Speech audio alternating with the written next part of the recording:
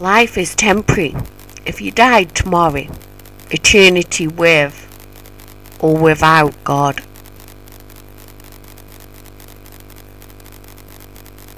Our flesh is just a covering, like a tent. For I am conscious that in a short while I will have to put off this tent of flesh, as Lord Jesus made it clear. 2 Peter 1.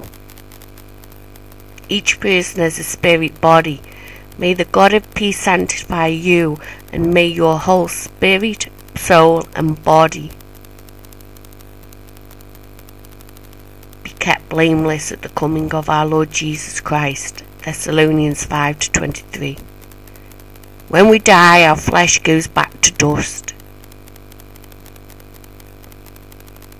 From dust you were made, dust you will return. Genesis 3:19. But our spirit body goes to one or the other.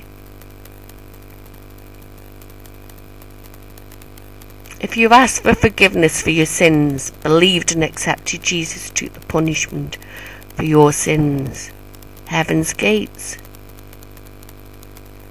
And also, if you've turned away from sin, accepted God's Son, Jesus, as your Saviour, someone who rescues you.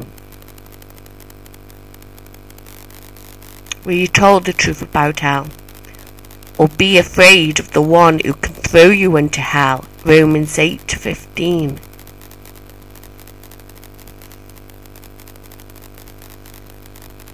Who refuse to believe is condemned, guilty. God and Jesus love you so much that Jesus took the punishment for your sin and wants you to spend eternity with them.